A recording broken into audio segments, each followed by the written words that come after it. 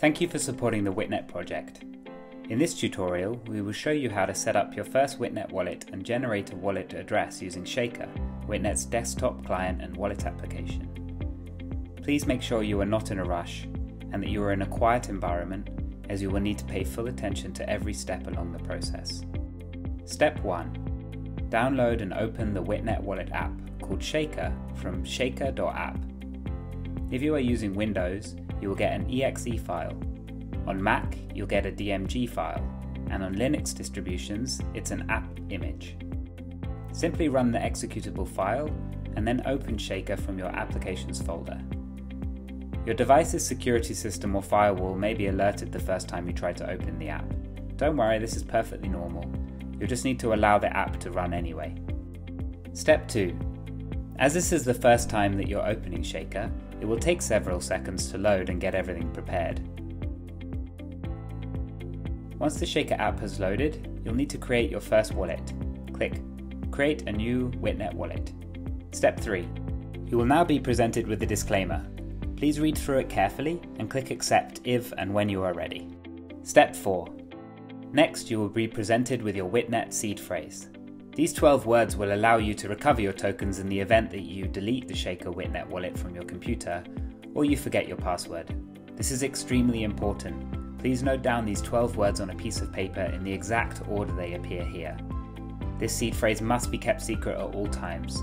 If someone gets hold of these 12 words, they will have full access to spending your Witnet tokens. Never store these words on a computer or on an electronic device. It is your sole responsibility to store the paper with your seed phrase in a safe place.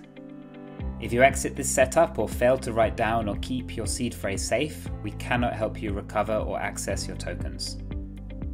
Once you have safely taken note of your 12 word seed phrase, click Next. Step 5. Now you need to type the same 12 words into the text box in the exact same order as displayed before. This will confirm that you wrote down the 12 word seed phrase correctly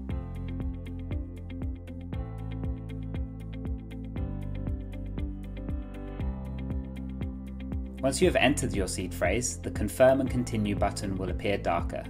Now click that button to confirm. Step 6. Now it's time to create a password for your wallet. You will need to enter this password every time you open the Sheikah Witnet Wallet app.